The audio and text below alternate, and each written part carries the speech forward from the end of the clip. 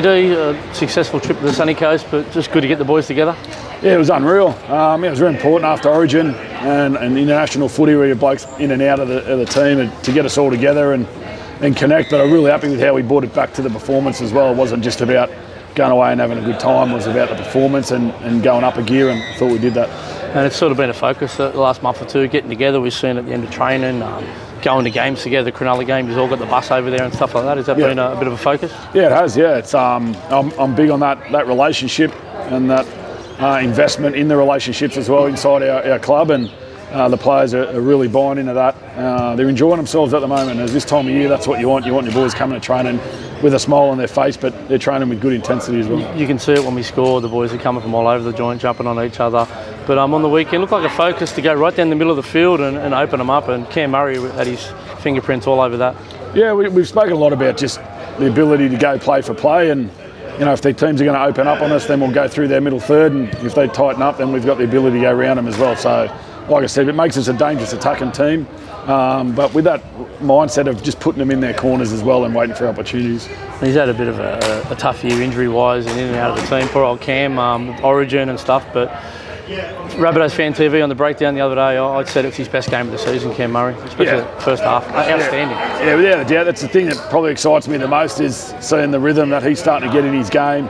And he did have a disrupted um, middle part of the season. Obviously, had the shoulder surgery and then forced pushed himself to get back for Origin. And then uh, obviously had, had, that's a tough period when you're not played a lot of footy. And then obviously he had the head knock. So he missed a lot of footy, but uh, the work in our favour at the back end of the year. And Latrell, just little, little small injections, but when he, when he does come in, aren't they classy? Oh, he's like I said before. There's still more to come from him.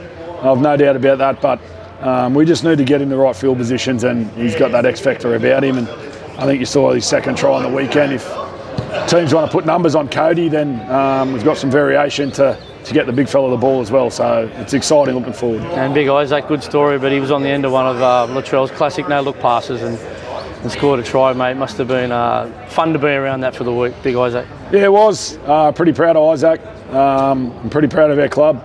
Uh, to bring a guy out of retirement for four years, pushing 140 kilos, uh, and to bring him in an organisation and over a two-year period, get him to a point where, in my opinion, he's a top New South Wales Cup winger, uh, top try scorer, and then to, to debut is, is exciting. But it's always has been about his career in the NRL, and I'm looking forward to seeing him go this week.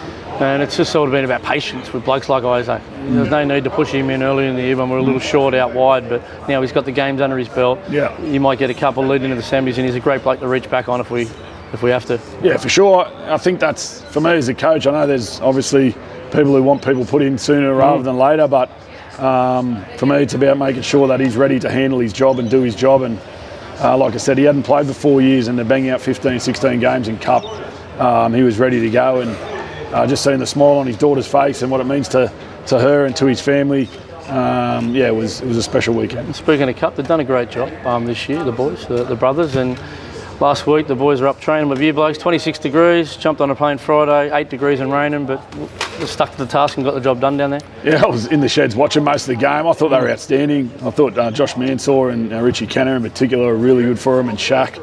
Uh, they get Pete Mamo back this week as well, um, which will be good for them. It's good to see him back on the field. They've missed him.